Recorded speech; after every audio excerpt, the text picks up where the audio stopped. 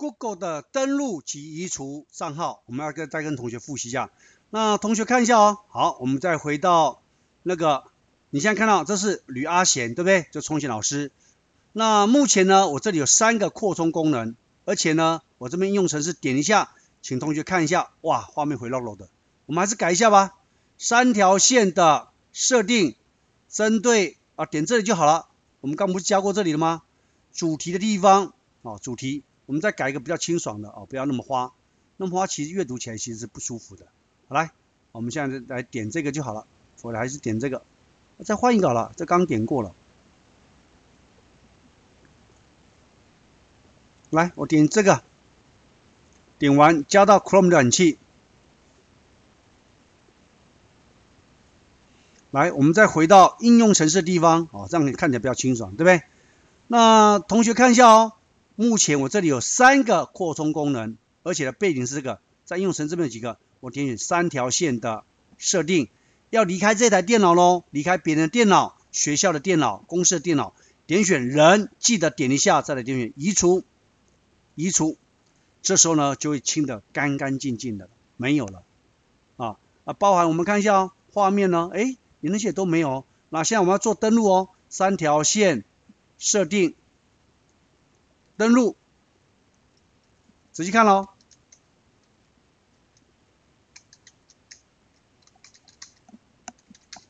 当我再次登录自己的账号密码的时候呢，它就会。Google 呢，就会从 Google 公司的网呃那个伺服器，把你个人的私信带个人的设定带进来啊，看一下这边有四个，有没有？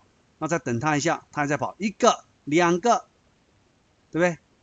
就会把一些呃这个带进来，再等它一下，三个，有没有？我们刚刚这不设三个吗？好，点选第一次登录的时候呢，邮件是问号，点完以后呢，它就会呢进到邮件系统，就会把它统计出来了。啊，那是因为我们有登出把它移除了。如果是在家里的电脑呢，你每次开起来这边就会显示最新的邮件，那这是我的行事历，对不对？那刚刚的萌点还在不在呢？好，我们看一下吧。期末站，那我点选这个，按着 Ctrl 键，然后点选讯号，压着不放。如果没有去检查一下吧，三条线的设定。看一下萌点的地方在哪里？扩充功能，对不对？萌点地方点一下哦，因为刚移除了，所以把这个地方设定移掉喽，改成 Ctrl 键储存，是因为我们有登出账号，它把一些设定有些简单的做移除来。改完以后呢，啊，如果不放心，重新整理一下，来接下来吧，Ctrl 键压着，点选讯号拖移讯号，好，就帮我们进行语音的一个解释说明等等。啊，所以 Chrome 浏览器很方便哦。下次你去朋友家登录你个人的账号，就可以把你个人的设定带到这台电脑来。